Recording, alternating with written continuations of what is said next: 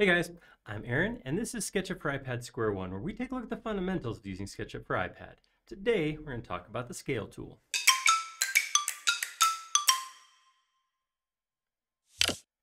The Scale tool is a great tool. A lot of people think that it's just used to make something bigger and smaller, but because the way the handles are on there, you can actually drag stuff and distort it. You can resize multiple items together. It's a great tool, and we're going to talk about it right now.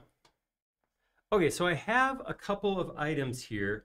Uh, I, I, have a, this is loose geometry, it's cylinders, loose geometry. This one's in a group.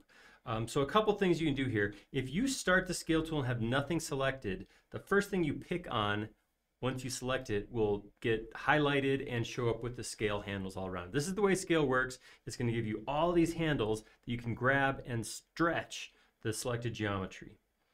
Uh, if you want to do something like a bunch of loose geometry like I have over here, what you'll want to do is come in and select it all first, then hit scale and you'll get the same thing. Like I said, if you, nothing is selected, then as soon as you click, it'll just grab that first thing. If you want to have multiple items selected, same thing, come in here, select first. So this case I have loose geometry here and the group. And then when I hit scale, you'll see I, will get those, those handles, those, those scaling handles are all the way around everything. So generally speaking, the, the best way to use this is probably going to be to pre-select and then hit scale. There's a couple modifiers over here. Uh, one is scale about middle, one is scale uniform. We'll touch on those in just a second. First, I want to talk about the different ways to use it with the different methods of input.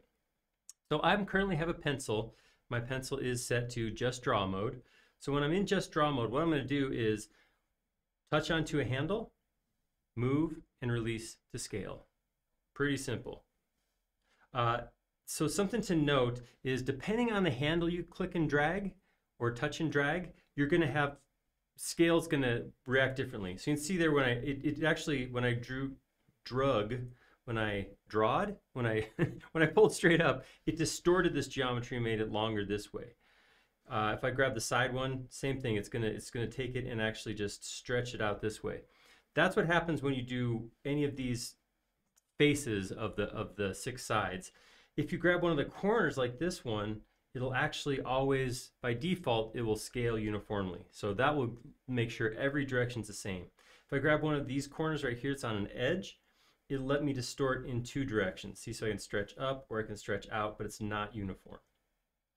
If I want to force uniformity, that's where these, these things come in over here. So if I hit scale uniform, now when I pull up on this top one, you see the whole thing scales the same direction. That's what scale uniform is. Scale from center means whenever I scale, it's going to go from the center out. So if I pull up this way, it's gonna get longer both directions. So good options to have. Nice, nice to be able to flip those right on as you're modeling. It's gonna change where your final geometry scale ends up and also where it grows or shrinks from. Just to show, let's hop in here and switch over to click, move, click. Works very similar, except I'm going to hard press on the point, then bring it up. Oops. I bumped my mouse there, so it jumped. So you can see that, hard press. So to, to drag it down, I'm just gonna grab a handle, hard press, and then release or hard press to, to finish. Now you can do this with touch. I've had a little bit of a hard time with touch. Uh, primarily because my head's like a foot back from the screen so it doesn't get caught by this overhead camera. Um, so I have a hard time telling exactly where my finger's touching. So here's a trick that I figured out for this. Well, I'm going to take my finger, put it on the screen, and as I move around, you can see that see the little gray circle it's following.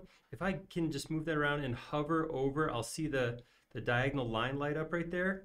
If I like go at that point, it has grabbed that that handle. So now I can come in here and long press to pick up and scale using my finger. Pretty easy to do.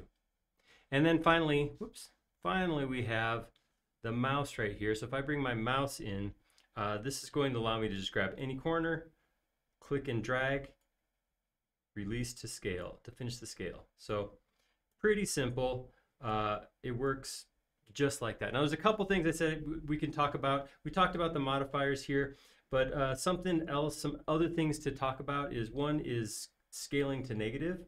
So I can actually come in here and scale past zero into negative space to flip something. This works obviously better on a non, uh, symmetrical item, but it lets you flip things the other direction. Another thing you can do, this is kind of cool, is if I come in here and pick, for example, this, uh, this disc right here, just the top of this cylinder, and if I hit scale right now, it'll let me take that and stretch it. And look what happens. It's actually stretching the attached geometry.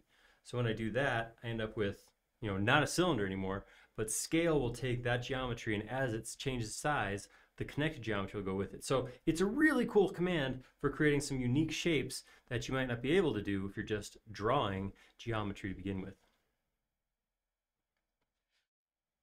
I'm sure there's other things we could have gone into a scale, but this is square one. We're covering the basics. Uh, if you like that and you want to go deeper into scale, let me know. We could probably do a part two video, part two videos. Um, but right now, that's kind of the basics of how to use it. Uh, it is a great command for taking geometry and uh, changing size. Obviously, that's what the name implies. But remember, you can use it to distort too. You don't have to have everything just growing or shrinking about its middle, though that is a pretty cool option to have and kind of one of the reasons scale exists. If you like that video, go ahead and click like down below. If you haven't already, please do subscribe. We create several videos each and every week around here, and you'll be notified of all of them if you subscribe. Most importantly, though, please leave us a comment down below. We like making these videos a lot. We like them even more when they're showing something you want to see. Thank you.